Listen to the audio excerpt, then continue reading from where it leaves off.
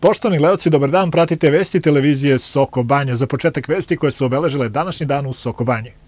Poslednjih deseta godina Soko Banja beleži konstantan porast u turističkom prometu. Hotel Moravica ne organizuje doček nove godine.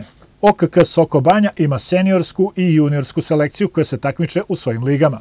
Turistička organizacija Soko Banja u saradnji sa amaterskim SB pozorištem pod pokretestvom opštine Soko Banja u ponedeljke 27. decembra organizuje tradicionalni doček Deda Mraza.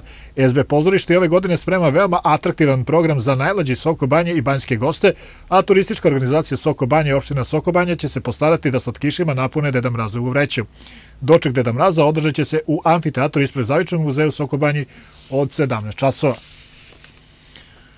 Poslednjih deset, deseta godina Soko Banja beleži konstantan porast u turističkom prometu, tako da je u 2021. godini srušila sve sobstvene, ali i nacionalne rekorde u rastu turističkog prometa.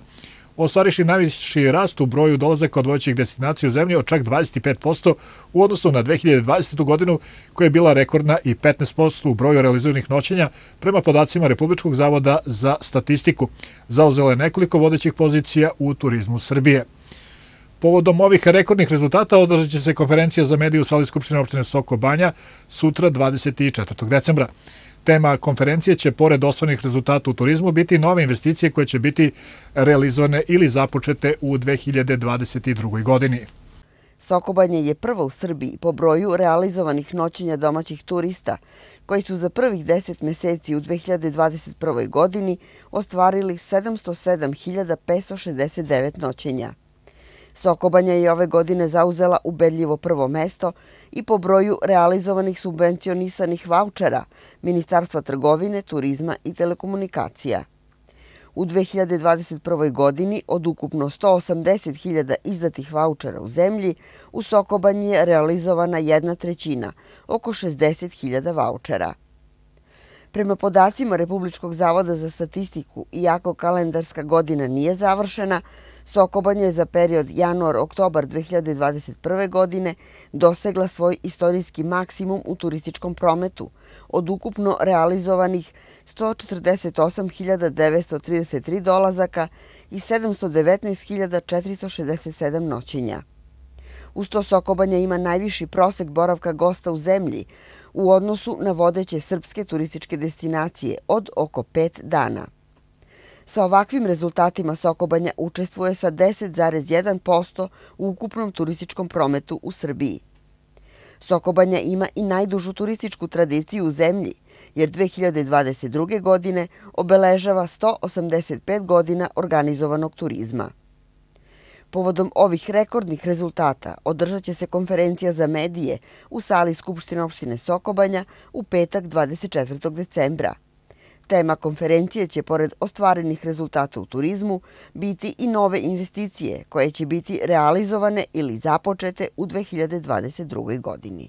Hotel Moravica u Soko Banji ne organizuje doček nove 2022. godine. E, pridržavajući se svih propisanih mera, odlučili smo da ne organizujemo doček ni za svoje goste, kaže Slaviša Lazanski, direktor hotela. Hotel Moravica ne organizuje doček nove 2022. godine ni za svoje goste. Do sada je veliki broj gostiju rezervisao smeštaj za novogodišnje praznike, ali ni za njih neće biti organizovan doček, kaže Slaviša Lazanjski, direktor hotela. Što se tiče ove godine, svi bi hteli da što pre ode, s obzirom na celokupnu situaciju i sve ono što nas je snašlo u, u poslednje vreme. A što se tiče organizovanog dočeka u hotelu Moravica ga neće biti ove godine iz više razloga. Jedan od razloga i, i ovo sve što nas je snašlo, znači ovaj COVID i čitava ova situacija oko toga i sve ove ovaj, limiti, ovi, ove zabrane koje se stavljaju i kontrola ljudi, da li je ko je vakcinisan, nije vakcinisan, tako da to je jedan od razloga i drugi je formalno pravne prirode, znači mi smo u takvom sistemu gde radimo tako da ovaj, i sa te strane imamo nekih barijera i odlučili smo da ne pravimo organizovani doček, ali to ne znači da nećemo da imamo goste za novu godinu. Znači mi već sada imamo ovaj, više od 50% kapaciteta je rezervisano od strane gostiju koji hoće da budu u Soko Banji, koji hoće da budu u hotelu, bez obzira što nema muzike, svečane večeri organizovanog dočeka, ali gostiju će biti. Posle nove godine uobičajena je neka slika, mi ne očekujemo nešto u januaru da će bitno da se desi s obzirom da prođu možda nešto tokom ovog školskog raspusta dok deca ne krenu u školu, ali za sada nemamo neke rezervacije, dok je februar mesec uglavnom rezervisan kao i ranijih godina za pripreme sportskih ekipa, za zimske pripreme. Već sada ima nekih najava i zahteva za neke skupove, sindikalne simpozijume, sastanke i tako dalje, tako da se nadamo da ćemo to ovaj, da odradimo i da se dočepamo proleća. U principu hotel radim, pauze nema, ali hoću da kažem da nema neke velike potražnje ili da neko je sad zainteresovan za nešto. To je i period koji posle svih praznika, slava i koje čega, znači ljudi prosto žele da se odmore, a i uglavnom koju ide, idu na, na, na zimovanja, idu tamo gde ima uslova za to. Nažalost, mi u Sokobanji takvih uslova nemamo. Hotel nema čime da privuče goste, pored toga što vam pominjem da nema, mi nemamo ni neke unutrašnje vanpansionske usluge, nemamo termalnu vodu, nemamo spa centar i tako dalje, jer to je nešto što je sada interesantno i što gosti traže. Naredne godine imamo ceo februar popunjen sportistima koji će odraditi zimske pripreme u Sokobanji – od februara nadamo se normalnom poslovanju, mada se trenutno ništa ne zna kada je reč o pandemiji i kako nas proleće čeka ističe Lazanski. OKK Soko Banja ima seniorsku i juniorsku selekciju koje se takmiče u svojim ligama. Obe selekcije čine isključivo igrači iz Soko Banje. Tim odlukom rukovodstvo pravi se baza dobrog i jakog tima koji bi u nekom daljem e, periodu postigao svoj pun kvalitet i dao dobre rezultate. Zbog toga je raspon godine igrača nizak jer su to uglavnom omladinci od 17 i 18 godina koji igraju u obe selekcije. Kada se na mladost dodaju i povrede koje su ih pratile tokom jesenjeg dela prvenstva kao i otežani uslovi treniranja zbog pandemije, rezultati im nisu bili prioritet. Akcenat je stavljen na igru, sticanje iskustva i formiranje tima koji bi za neku godinu mogu da se bori za plasman u vrhu, ističe Manić. Ja time mogu da se, i ja i svi iz kluba možemo da se ponosimo, e, da je došla neka nova generacija, pričam deci 9, 10, 11 godina, e, i to 30 e, devojčica.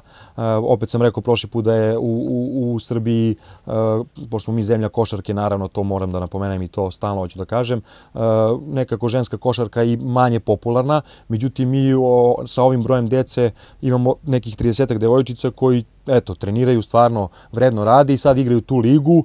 E, to je više onako liga da se oni, one malo rekreiraju, da uđu, da vide kako izgledaju te utakmice putovanja i mogu da vam kažem da to treneri odlično rade. E, pored njih e, imamo i školu košarke, to su mlađi klinci, ne samo klinci i devojčice 7, 8, 9 godina. Oni nemaju takmičenje, ali nadamo se da će se u narednom periodu već sledeće sezone izabrati neka selekcija koju ćemo prijaviti, jer mi non stop vršimo upis rekao sam vikendom od 10 sati imamo treninge, kogod reši da dođe trenira košarku može dođe da pogleda i mislim da je to neka naša budućnost kao što su ovi momci e, sada stigli za nekih par godina e, verujem da ćemo imati neku bazu u kasnije u seniorskim takmičenjima. I za kraj upis Uh, upis svakog dana, pravit ćemo pauzu oko nove godine i Božića kad hala ne bude radila, znači uh, ne tačnije svakog dana, izvinjavam se, subotom i nedeljom od 10 časova ujutru uh, do 13H mi imamo termine od 10 do 13, tu su uglavnom škola košarke i mini basket.